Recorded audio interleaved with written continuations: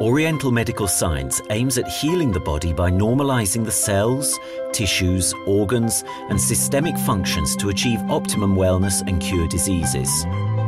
Western medical professionals had recently recognized this as preventive science. The easiest way to achieve this homeostasis is by taking Ganoderma, which is a mushroom belonging to the family of Ganodermataceae. It is a medicinal mushroom which despite being used in China for two and a half thousand years, until recently was only available for the highest class of society.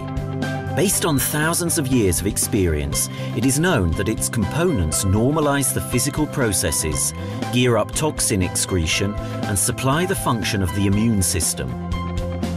Ganoderma is used in clinical practice as component of medicines. Western medical science also took notice of its results in the treatment of tumor-related diseases.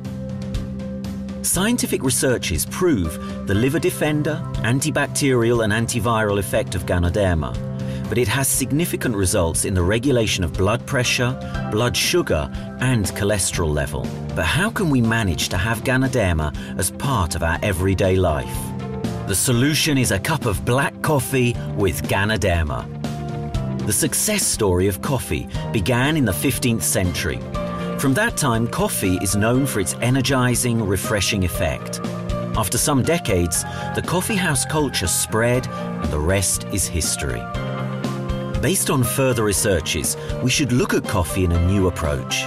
It turned out, due to its high content of natural antioxidant, coffee is not even unhealthy, but it has a positive effect on the body.